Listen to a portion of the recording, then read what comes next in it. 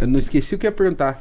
Você falou É, 2002. 2002. Como é que foi pra você essa Copa do Mundo? Porque imagino que pra sua carreira também foi muito importante, porque assim, o que você conseguiu de uma seleção campeã do mundo, eu nunca vi uma cobertura dessa. essa eu vi, tá? Em Tomar qual- um café com você. Em Ai, que bonitinho. Qualquer evento, assim, tipo assim, uma abertura que a gente não vê hoje. A gente só vê a galera reclamando do jornalismo hoje, principalmente os jogadores de futebol. Ah, muito chato. Só que ali a gente via que eles estavam com você. Eles estavam, tipo assim, não, vem cá, Tava. senta aqui com a gente. Café. Você falou com o Ronaldo no quarto, tipo... É. Como que foi isso que rolou e casou vocês tudo ali? Olha, é, eu, eu tinha tido filho e os meus filhos estavam com quatro anos e eu não tinha voltado a viajar, fazer nada fora do Rio durante esse período.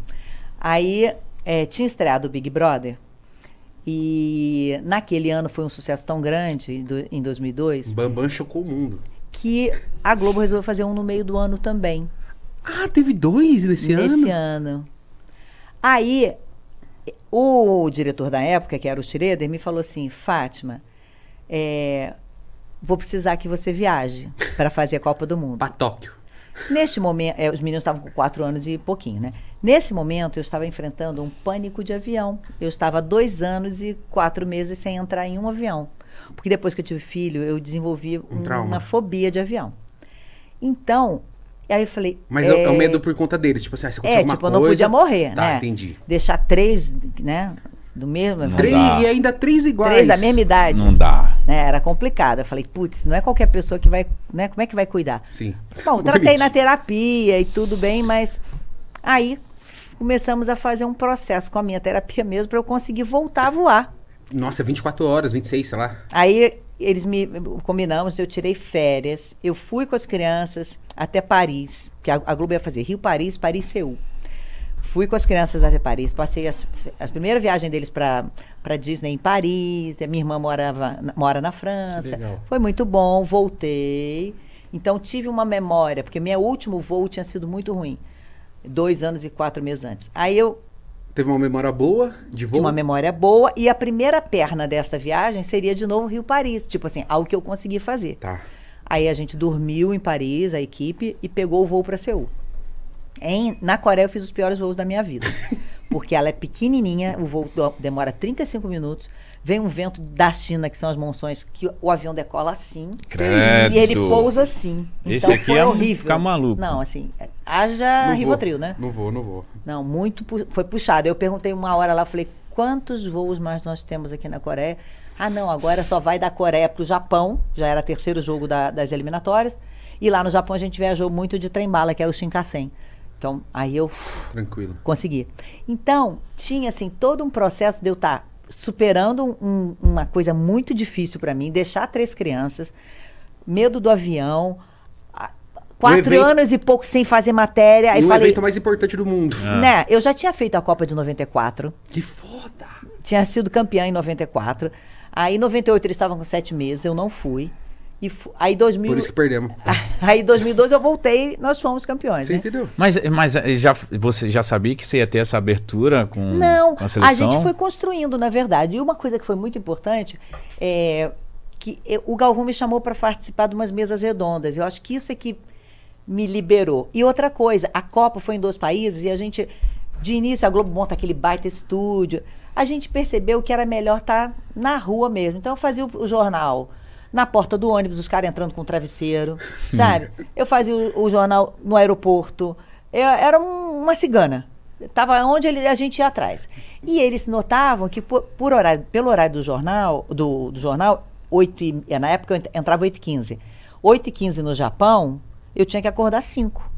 Então, por exemplo, eu vi- comecei a ver que o Filipão saía seis e pouco com o Antônio Lopes para caminhar. Tava todo mundo dormindo. Aí começou ele, poxa, já tá aí, pois é, já tô. Aí, aí Ah, vocês foram Ah. criando vínculo. Entendeu? Eu era a única ali naquele momento. E, eu, e naquela época a gente ainda conseguiu se hospedar no mesmo hotel da seleção. Então, assim, sobe no elevador. Algo muito improvável hoje. Hoje, totalmente improvável. O, o- a sobreloja para onde eles saíam do elevador, que era só para eles, um, um elevador, né? Iam direto pro café. A gente estava por ali, aí Ah. começava a conversar, sabe? Então teve toda uma. Às vezes estava só o Filipão ali. sentado É. e eu, eu circulando. Tinha uma malícia É. boa. Eu ficava circulando ali. Porque você podia ser inconveniente. E o primeiro momento que você fosse inconveniente, a galera Ah, ia não, é, É. não, é. E assim, começou, to- todo mundo sabia que eu tinha trigêmeos, começou umas conversas, e as crianças, como é que são seus filhos, sabe? E eu em 98... Essas conversas tipo com quem? Rock Júnior. E As Não, crianças. Não, com o Kaká, com o próprio Ronaldo. Aí, Por ó. quê? Ronaldo, em 98, quando teve a, a- questão, a, quando a convulsão, eu fiz um Globo Repórter que eu consegui entrevistá-lo na volta. Eu não fiz a Copa, mas eu entrevistei ele na volta. E aí eu levei três camisas pequenininhas assim, de um aninho, para ele assinar para os meus filhos. Ele assinou e tal. Tivemos mil, que- mil conversas ali naquela época. E aí, é, quando, quando eu fui para a Copa, ah, quando eu fui fazer isso, ele falou assim: Nossa, e- e você foi tão longe para me entrevistar. A minha irmã, é, a minha irmã, a, a minha sobrinha, filha da minha irmã, estuda no mesmo lugar da, da creche dos seus filhos. Ela- vocês, eles brincam na pracinha, mas ela nunca tinha me falado. Eu fui achar um primo dele que morava em Irajá, sei lá, lá no subúrbio, para conseguir acesso a ele. Brincar. Ele falou, estava tão perto. Falei, pois é, nem imaginava. E aí começou a conversa. E como é que estão os meninos? Em 2002, a gente foi. Aí foi aumentando. Você foi E aí um foi conquistando, falando com o rapaziada. E aí o Galvão me chamou para a primeira mesa redonda. Aí eu comecei a dar meus pitacos, né? Falar as coisas que eu achava. Você manjava.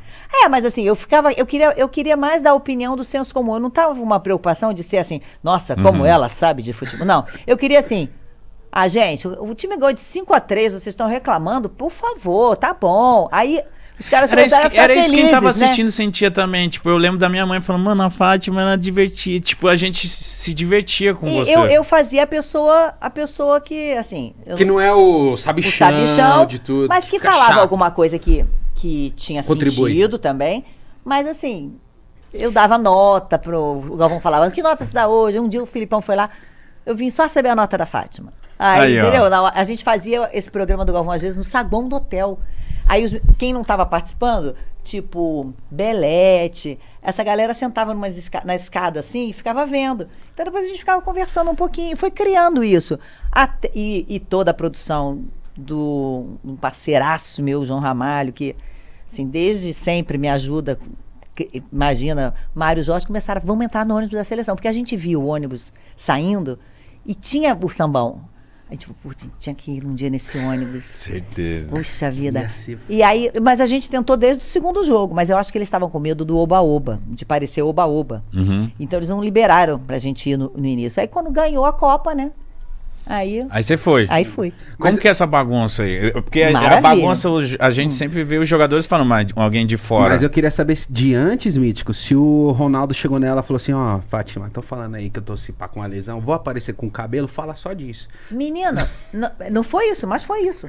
Ele não falou isso, mas eu, eu, eu falei assim: esse cara é muito inteligente. Você notou ali que foi pra, pra pegar quem ah, tava... porque ele tinha saído machucar, ele tinha tido uma, uma lesão Turquia, no acho, jogo, né? Inglaterra.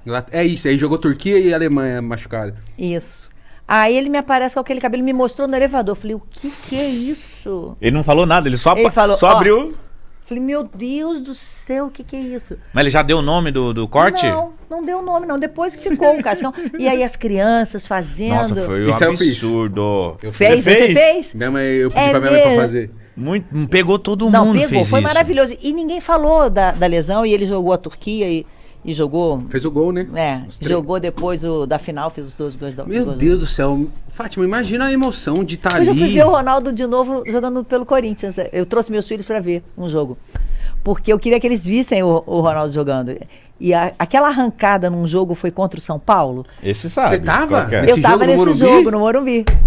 Caralho, foi Que contra o São ele Paulo 2x0. arranca. Joga por cima. Ele já tava mais pesado, ele arranca com o cara. E ele vai. Aí eu falei pros meninos, falei, olha isso, porque. Não, isso É, é, tá é acabando absurdo. a carreira. E, mítico, um monte de coisa que a gente descobre depois, né? É. Porque nisso, o técnico do Corinthians é o Mano Menezes. Ma- aham. E a galera tinha. Porque a história desse jogo é muito legal. O São Paulo era o melhor time do Brasil. Tinha acabado. Sim. 2009, tinha ganho. 2007, 8 e 9 o brasileiro. E os meninos são São Paulinos em São Paulo. Sério? É, por isso fomos ver o jogo. O William é São Paulino. Ai, caramba. E aí o Corinthians era o time que tinha subido da Série B. 2009, 2008 o Corinthians sobe, 2009 joga a Série A de novo, jogando o Paulistão ali. E aí a torcida do São Paulo recebeu o ônibus do Corinthians com pedrada. Aí o Ronaldo conta que, tipo assim, que ele tava dormindo. Aí, ele fala- Ah. aí ele fala assim, ah, me acordaram. Sério. Então, beleza. E aí, nisso, ele Eu dá a arrancadona, que ele sai atrás do, do Rodrigo, do zagueiro de São Paulo, ele dá a arrancada. É. E aí o Mano Menezes fala assim, ó, meio que no ao vivo, assim, porque tava, os caras chegam, É. que corrida, hein, gordo? e aí o lance era que todo mundo falava que o Ronaldo jogava com 104 quilos. Uhum. Só que aí depois se descobriu que a galera sempre abaixa... O, o staff do Corinthians abaixava 10, que ele jogava com 115. Não, não é Que possível. isso? Jura? Então ele tava bom Isso demais. aí foi o André Sanches que Então falou, o presidente da época. Imagina, irmão, 115 quilos jogando profissionalmente. Não imagino. Será Nossa. isso tudo, gente? Eu sou sou Ronaldo, se mesmo se for mentira, eu vivo pra falar que é verdade. Joguei com 130. É esse. Arranquei, arranquei, dei aquela arrancada, deixei todo mundo pra trás, fiz gol. Mas qual, qual foi É. o, melhor, o ma- o maior evento que você cobriu? Tipo, tipo, pra você. Ah, não. Essa, é, certamente, eu, eu, eu, eu vi a final em- em campo de 94, foi maravilhoso. É, assim, eu. eu- eu- o Galvão Brasil não era o campeão Pelé. há 24 anos. Eu vi o Pelé entrar num estádio e, e eu não sabia o que era, mas eu vi um estádio inteiro se virar para o mesmo lugar. E aí todo eu comecei a procurar e era o Pelé entrando, que é uma coisa emocionante, o Pelé O entrando. Pelé, tipo, é que a gente conhece, tipo assim, a gente viu o Pelé só muito mais velho, né? Uhum. Então, É, o Pelé, não, é um símbolo. no estádio de futebol, ele, ele impacta sim. Nossa, era uma coisa Impactava. impressionante. Eu vi muita coisa legal. Imagino. É, eu brinco que eu vi o Zico chegando é, no Japão. Eu estava para subir no estádio para ver um jogo. Aí, sabe assim, assim, se- segurança. Eu falei, gente, eu vou ver o príncipe chegando. Porque pararam, ninguém podia pegar o elevador, todo mundo parou. Aí parou um ônibus. Eu falei, agora, eu vou ver o príncipe chegando. Aí desce o Zico. Aí Ele é- eu- ele é foda lá, né? Aí eu falei, ah, não. Me barraram por causa de você. Ele veio, me beijou, a Sandra. Aí eu virei rainha ali junto com o segurança. Imagina, o Zico pra eles é um, um, É um deus uma na coisa, Terra, um né? deus, É. né? Então assim, vi muita coisa legal, mas aquela final de 2002, Você votou no avião junto com eles? não, não, não. Que pena. Não, não quis não, gente. Eu morro de medo de avião, vem aquele povo batucando. Tá, tá, tá, tá. Não, eu quero um voozinho calmo, quieta. Mas você depois foi pra Brasília fazer Não, não, não. Aí, não, gente, eu tava 47 dias sem ver três filhos. Não, vim Tava direto pro Rio. Fui direto pro Rio. Todo mundo que tá assistindo aí, pelo amor de Deus, Alex, joga em mim aqui, ó. Isso. Todo mundo que tá assistindo, desce na descrição e se inscreve no canal da Fátima Bernardes, viu?